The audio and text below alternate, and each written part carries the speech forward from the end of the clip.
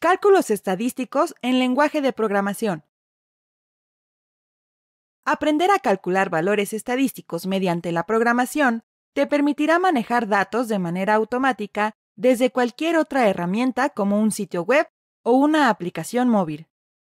Para calcular la media, la desviación estándar y graficar histogramas, requieres las siguientes bibliotecas.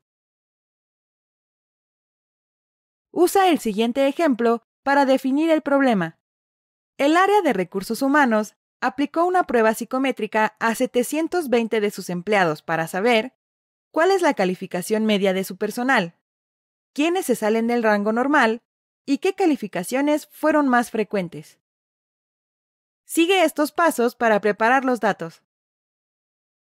Importa las bibliotecas antes mencionadas. Carga y selecciona los datos desde un punto CSV a una variable.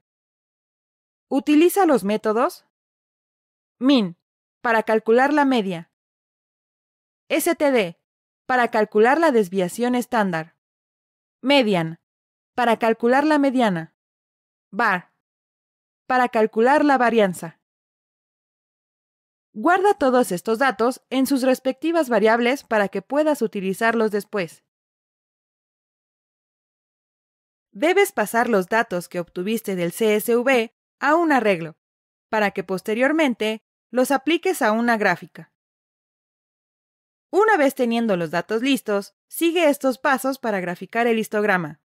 Usa el método de la biblioteca y agrega como parámetros el arreglo de datos y el número de secciones requeridos para dividir la gráfica.